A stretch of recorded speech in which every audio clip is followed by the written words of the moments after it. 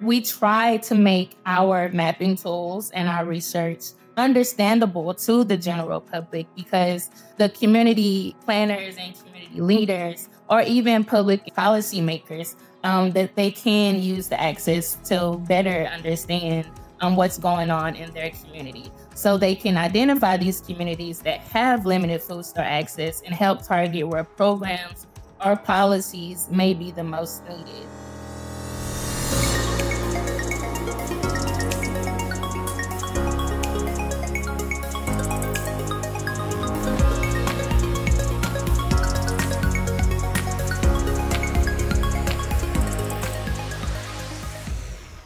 Hello, and welcome to a new episode of The Rural Impact, the podcast where we help to connect the dots between policy and rural everything. I'm Michelle Rathman, and I'm so appreciative that you joined us for a new episode. Of course, we are now in our second episode in a series that we're calling Food for Thought. It's all focused on food insecurity in rural places. Before we get into today's discussion, I just want to remind you of a few statistics. Rural hunger stats in America, we're showing that 11% of rural households were food insecure in 2021. Let me say that again 11% of rural households were food insecure in 2021. And I would wonder what that number looks like today. Another really important statistics when we're talking about this is that 63% of all counties in the United States are rural, and 87% of counties with the highest food insecurity rate are in rural. So, because we're talking about these kinds of numbers, we need to be talking about it. With that said, I do want to share with you kind of an update of some of the travels that I've had and we're going to start to bring you some of these conversations from the road pretty here soon here as well. But I was out in a very rural, remote community working last week. And as a part of my work, I worked to help convene and facilitate a community visioning session around what it could look like to have a healthier community. And in those discussions, and I will share with you, participants in the room included the mayor, the sheriff, of course, the hospital leader, several leaders from the hospital. We had the school superintendent, the individual who is working with veterans, so on and so forth. So, this is a really spirited room of community leaders and people who really want to make a difference. And towards the um, beginning of the session, one of the questions I asked them to ponder was to just find out how many of you understand the prevalence of food uh, security in your own community? And it won't surprise you that no one could really understand or, or could uh, answer that question with a hard number. And that doesn't surprise me because I wonder if you can ask, answer that question. Do you know how many people in the county that you're in are actually food insecure? Well, because we don't really have the numbers to those to that question I want to tell you that in this conversation, in this rural impact conversation, you are going to hear from two experts who talk about the census tract level data that's used to help determine food access. And we're also going to explore behavioral responses to food insecurity. In other words, we're going to do our best to connect dots uh, to a whole lot of uh, different subjects where this is concerned. So, with that said, I had the great privilege of talking with Alana Rhone and Matthew P. Rabbitt. Each of them are economists in the food assistance branch in the Food Economics Division, which is within the United States Department of Agriculture Economic Research Service, also known as USDA ERS. So, here now is my conversation, our second episode of the Rural Impact focused on food security. Let's go. Wow. We're so grateful to have you both here with us, Matthew and Alana. It, this is a really important conversation as I teed up this episode. It's our second in our series on rural food insecurity. And so, Alana, I'm going to kick this out to you first because, you know, the numbers are staggering. And as I, I kind of introduced it in the intro, I think it's really important for people to know that we've got, as of 2019, 4.7 million households in the U.S. did not have access to a vehicle and lived far from a food store. And because I work in so many rural places, it's shocking to me sometimes how far you have to go to you know, purchase your food. And then, of course, the accessibility piece of being affordable and whatnot. So I'd like to just kick off with you because your work is very unique. It fascinates me, actually. So, in the division that you work with the United States Department of Agriculture, it's all about economic research. So, talk us to us about your research work and how it's connected to food insecurity. Yes. So, I am an agricultural economist within the Food Economics Division Food Assistance Branch. And my area of research focuses on food access in the United States. I'm also the data product manager of two mapping tools that we have. One is called the Food Access Research Atlas, which mm-hmm. allows users to investigate access to food stores at the census tract level. And when I say census tract, it's similar to the size of a neighborhood. So you can think that similar to the size of a neighborhood that, you know, people may live in. It looks at income, distance to a store, and also vehicle access. The second data product that I mentioned is called the Food Environment Atlas. And it looks at the food environment. It has over 280 indicators looking over three broad categories one being health and well being, food mm-hmm. access, and also looking at components of a community's composition of demographics and things like that. And those that information, we have farmers markets in there. So it takes into account all of the different indicators of the food environment. Yeah, I was noting and looking through all of the research information that I was able to find on these um, products, if you will, these tools that you have. I guess my question would be because our focus is to really understand, you know, what's happening on the rural stage, if you will, based on your findings. Can you describe a little bit about the prevalence of food insecurity in rural households, both with and without children?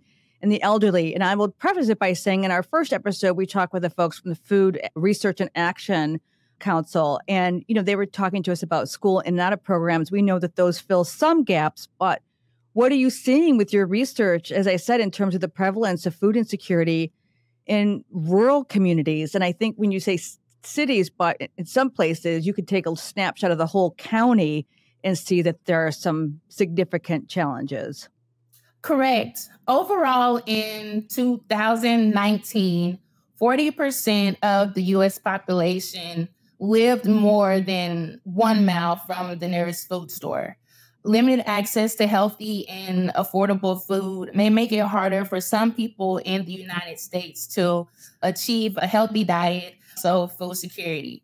Distance, lack of transportation, limited resources could impact the choice of stores at which a household or a person, you know, may choose to shop the time and monetary costs it may take to travel to their to a particular food store. Um, mm-hmm. Having a vehicle um, is important, you know, to get to a food store in some areas, and also it also limited access can also impact the frequency that a household or a person may do their shopping.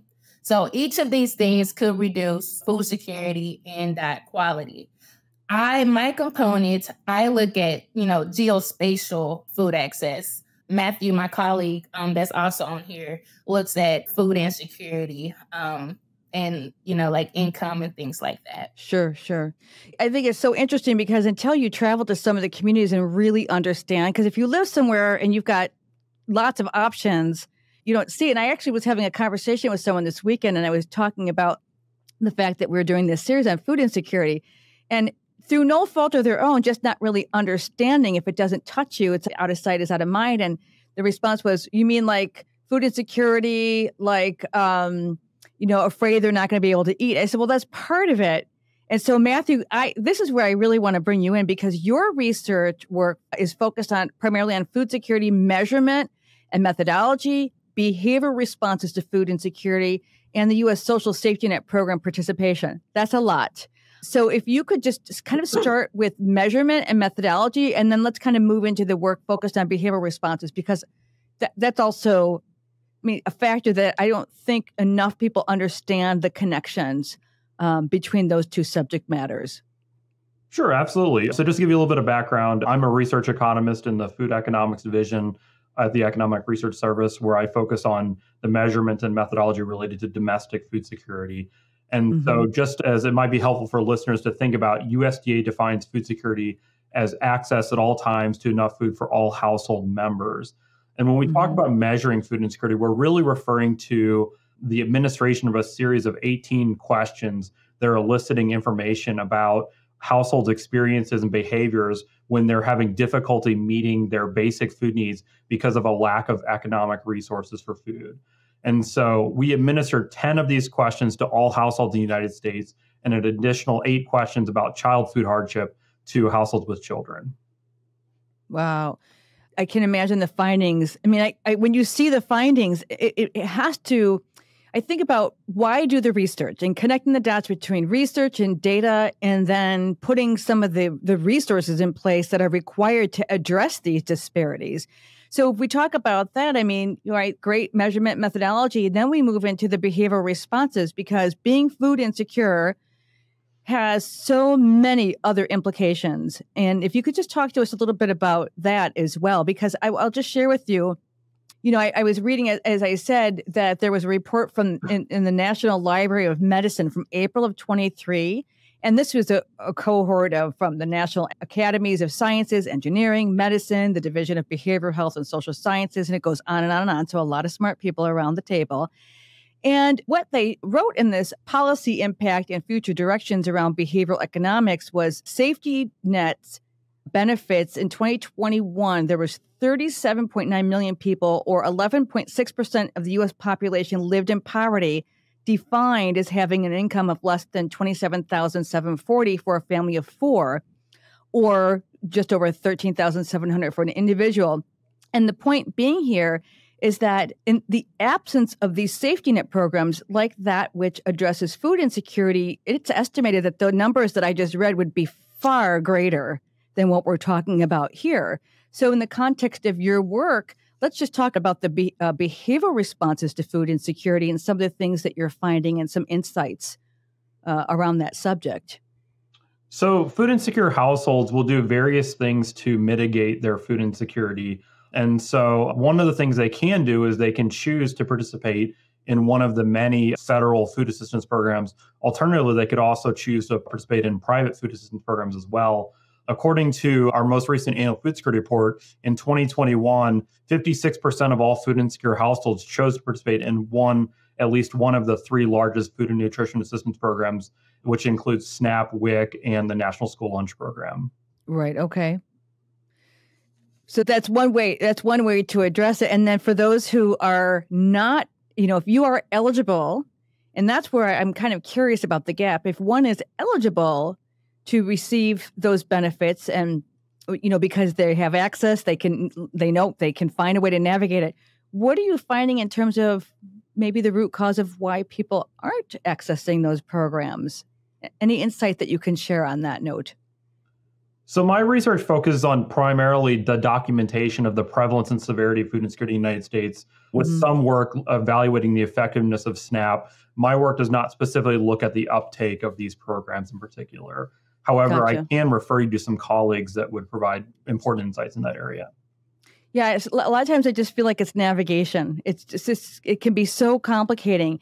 And you know, Alana, I think the work that you do is also really important because of the, you know, helping people understand how to connect the dots between data and using your tools. And I did happen to note that you participated in and led a workshop in 2022 called the Data Training Webinar. And I think about it in context of how much a community and its leaders actually know about their food insecurity. And I was kind of sharing with Matthew before we started. I was at a community last week, very remote part of the state of Washington.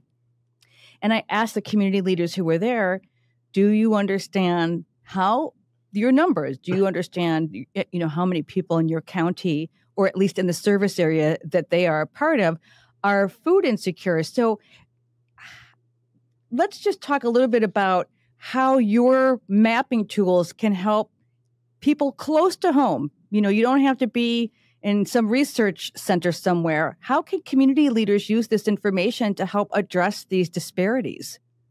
Here at the Economic Research Service, we have a range of research and data resources like the Food Access Research Atlas and also the Food Environment Atlas, which can help identify and inform possible solutions that work best for their community.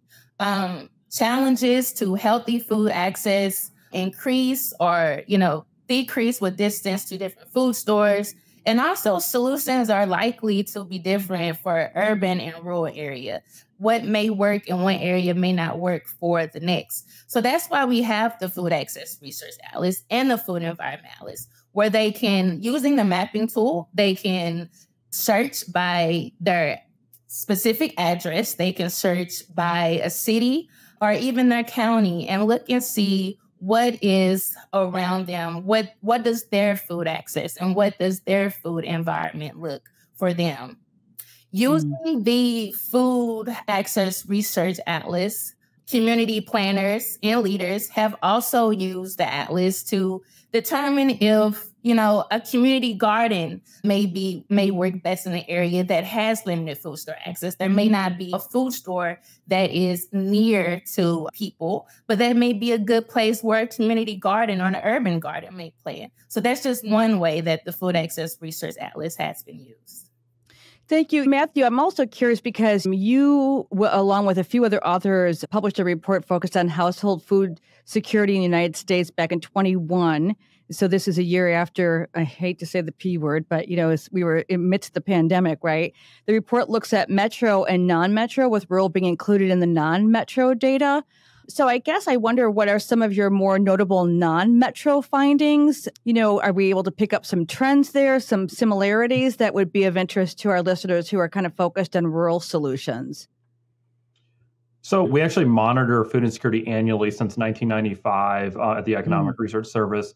And so we do produce an annual food security report. And as part of that, we do take a deep dive into the prevalence and severity of food insecurity trends over time and differences by subpopulations in the United States including the the rural urban uh, classification system. And so, in terms of rural households, one of the interesting findings we have is that food insecurity was lower in suburban areas than in principal cities and rural areas, and that food insecurity was also lower in rural areas than principal cities. And so, you know, we are seeing that depending on where you are on the rural urban continuum, that there are these potential differences in the risk factors for food insecurity. Interesting. I, I would just imagine that your data, both of you, so much of your work can help drive decision making that helps us understand where there is resources needed to address the gaps. And and I think about that because I do think again we're all about connecting the dots and I I wonder just from each of you if you could just talk to us a little bit about how data from your research can be used to help people make more local decisions that impact. I mean, so you take a look at it, you see that you're food insecure, you know, you've identified that you're a certain distance from restaurants, grocery stores, uh, you're looking at that, you know, the household data. What are some of the things that you could share with our listeners to help them understand how to use the data to help drive solutions? Because I think sometimes that's where we don't have that connector. Either one of you. So, as is the case with many challenges, the more that one understands the issue at hand, the more uh, equipped that we are to respond to it. And so, true to our mission at ERS, we're publishing a variety of research and data and charts on food insecurity and food access that can help us to inform and enhance decision making uh, in terms of food security of rural and beyond um, households. Mm-hmm. What about in the work that you're seeing just with uh, the Food Access Research Atlas? Because I'm looking at, you know, all the the great indicators, all the great data that you can extract from that. But I'm just curious how maybe you've even seen an example of how the data is being used, you know, through your training and how it's being used to affect change, positive change at that. Correct. The Food Access Research Atlas in particular has been used in several ways. One, as I mentioned, like on the community level, you can look and see if, you know, like I say, this may be area where where a store could possibly be or where a community garden or something like that could be. Also, users have used the Atlas. There are some grants out there to where that if you do live in a in an area that has limited food access, it can be used to help to bring in solutions to to fill in that gap of food access. For example, um, policies such as the Healthy Food Financing Initiative um, helps identify and also target communities that have limited food store access. And it provides loans and grants um, to develop grocery stores and other um, healthy food retailers. Also, if rural community members would like to better understand, you know, food access, as Matt mentioned, ERS does have a variety of tools and resources that can help assist with more awareness and also understanding. Hmm.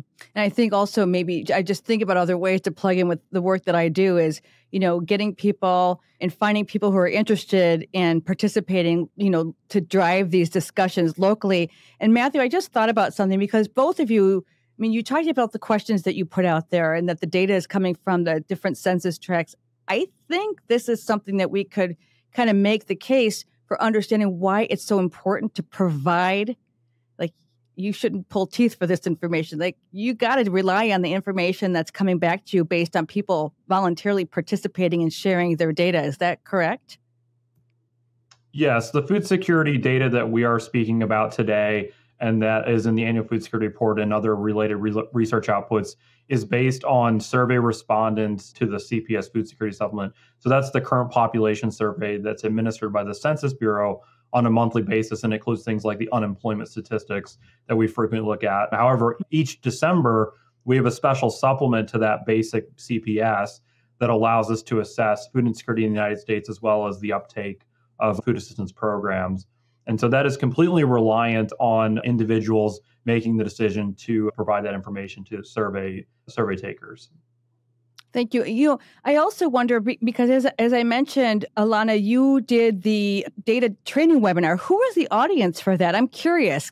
I mean, I watched it on YouTube. I, I, watched, but I'm just wondering who else is joining you. I, I, I would imagine for people who are data wonks that this would be interesting to them. But I'm peculiar who you're targeting. It's peculiar to me. I'd like to know who you're targeting and you know and are these things that you routinely share because i know it's this shouldn't be the best kept secret i think more people should know about these tools they're important yes i love sharing the food access research atlas and the food environment atlas and the data and the work that ers does whenever whenever i can mm-hmm. but in regards to the data training webinar it was open to the public so our we try to make our mapping tools and our research understandable to the general public because the community planners and community leaders or even public policymakers, um, that they can use the access to better understand um, what's going on in their community. So they can identify these communities that have limited food store access and help target where programs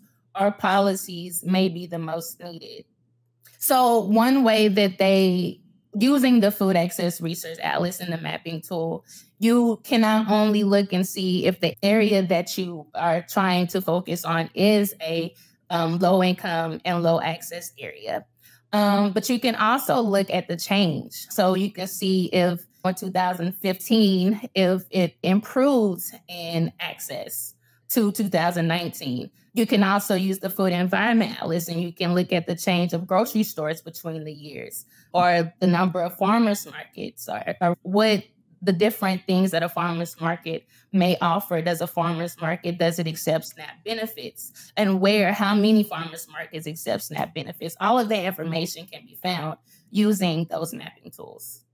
Uh, and I did read somewhere that there is an exclusion for a couple of different kinds of stores. So will you clarify me on that? There, you it, you don't account for, like I said the last episode, you can't really put together a healthy meal from a gas station. I suppose you could, you could try, but so there is a few provisions that of the kinds of stores that you're excluding. Correct? In the Food Access Research Atlas, we use large grocery stores super centers, and supermarkets as our proxies for healthy and affordable foods. But not like, um, you know, some of the smaller, and I won't name any by name, but they're kind of they're popping up everywhere, and uh, they're not really best known for having produce and things of that nature. So they are excluded, correct? Yes. So the store types that are excluded are we do not include commissaries or warehouse club stores. Okay. Warehouse club stores. Commissaries, you know, you have to be either a part of the military or a spouse or a family of the military to attend that type of store. And then wholesale warehouse club stores, you know, you have to pay a little bit of money to become a member. So we like to use stores that everyone has readily available access to. And we also exclude convenience stores dollar stores and also smaller grocery stores. Part of our, when we're looking at the different store types, we like to be able to also do manual searches. So we like to be able to look at the foods when you walk into the to the grocery store and they have the little pamphlets of what they offer. We like to open mm-hmm. it up on the store. So different stores that have a variety of food store that have fresh produce, that have frozen fruit and produce, also has grocery items. So we take into account all of that and also meat and deli choices as well. Hmm. I just I think about in my head all the rural grocery stores I've been to or the places I've been to where I search for some place to to get some groceries and it's just something I mean I don't have to live it every day but it is very very much a focus of my work because I'm also thinking about you know Matthew talked about all the number of the series of questions that you ask and in the context of health outcomes you know when a child comes in for a well visit and even adults there's like I think two specific questions that talk about food security. One is, have you had something to eat today? And the second question revolves around whether or not you have a fear of not having enough money for the rest of the month. Those are data points. I'm curious about for rural health organizations to instead of, I mean, it's important to ask the questions to individual patients and caregivers, but what that could mean for them in doing their socially determinative health work to just take a look at the food access research atlas and do the, use the mapping pool tools so that they have a, a better handle on what it looks like in their service area. That's could be maybe you've heard that, that, that folks are, are relying on that to improve health outcomes but i'm just planting the seed. If if people if health leaders don't know about this tool i think it's an important use of it for their efforts. What do you think so, I mean, there's always value in collecting new data in terms of uh, learning new insights. And so, you know, as part of our mission at ERS, we support individuals' decisions to collect their own food security data. And we actually have an entire topic page dedicated to food security measurement, where we, we discuss the different ways that you can assess uh, an individual, or in, in this case, it'd be actually a household's food security status. And so, you know, I would refer individuals to that web page because that would be a strong resource for any kind of group that's interested in collecting their own food security data. Thank you both. The last question I'm going to ask each, of you, because th- I think also this is important because you are a part of a, we inarguably a very large agency. And I mean, I just love learning all about the various entities within the, the USDA. What is the motivation behind the work that you're doing? I mean, this is some pretty detailed really important work that you're doing. And I wonder what each of you, I mean, I know your focus isn't just rural or just metro or non metro, but you're doing this for a reason. And I'm just curious what motivates you each to come in every day. And I, I see the smile on your face. What is it that about this that inspires you to just keep going in, in search of data that can help people? So, food access is important because limited access to healthy and affordable food may make it harder for some people in the United States to achieve, you know, food security and a healthy diet. And as mm-hmm. you mentioned earlier about the the numbers that have limited food store access and live and do not have access to a vehicle and live far from a store. And then in 2019, 40% of the US population lived more than um, one mile from a food store. So this is an issue that impacts some people that live in the United States. And so that is our motivation is to conduct high quality and objective mm-hmm. economic research to inform and enhance public and private decision making so that so that policymakers or people that's on the ground can come to solutions that work best for their community and them and it's never ending work. Matthew, what about you? you? As in your role, you've been doing this for quite some time. You've got your you're kind of in a lot of really unique places. What motivates you to keep doing this work? I would say that, you know, my motivation is really to just work to anticipating the needs of policymakers and ensuring that my research is of the highest quality and objective to where it can provide direct information necessary for those that are trying to make public and private decisions to to make sure that anyone living in the United States has access to a safe and nutritious meals. Boy, Alana and Matthew, I'm so pleased that you joined us. You are, as I said, the second in this series. And next week, we are actually going to be talking with someone from the uh, Rural Grocery Store Initiative.